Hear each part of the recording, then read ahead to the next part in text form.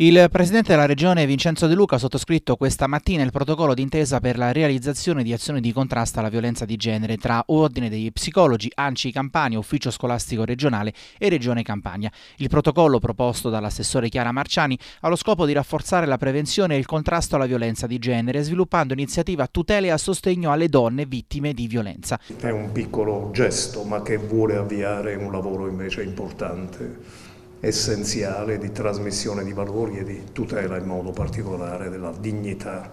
e della serenità di vita delle donne. La violenza sulle donne, potrei aggiungere quella sui minori, sono le spie di una società malata o di una diradazione dei valori umani fondamentali. E quindi riprendere, riprendere, questo tema è davvero essenziale per la tenuta più generale di legami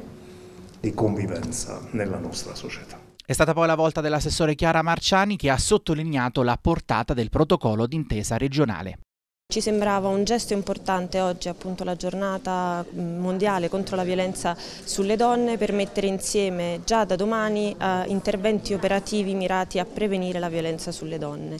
Ehm, oltre a questi interventi eh, già dalla settimana prossima incontreremo tutti gli ambiti territoriali per rafforzare le strutture che sono di supporto alle vittime di violenza, ma riteniamo che sia comunque opportuno rafforzare sempre di più la prevenzione in questo campo. Abbiamo interventi operativi appunto di formazione nelle scuole, è importante che gli operatori e il personale scolastico sia eh, di supporto, intervenga anche a riconoscere quelle che sono vittime di violenza celate direi. E poi con i comuni dobbiamo intervenire in maniera eh, più incisiva con appunto non solo formazione degli operatori ma anche eh, nel, nella realizzazione di strutture di accoglienza per le vittime di violenza. Per quanto riguarda invece gli psicologi stiamo intervenendo anche rispetto al settore sanitario, esistono già in campagna delle eccellenze questi punti rosa all'interno dei pronto soccorso che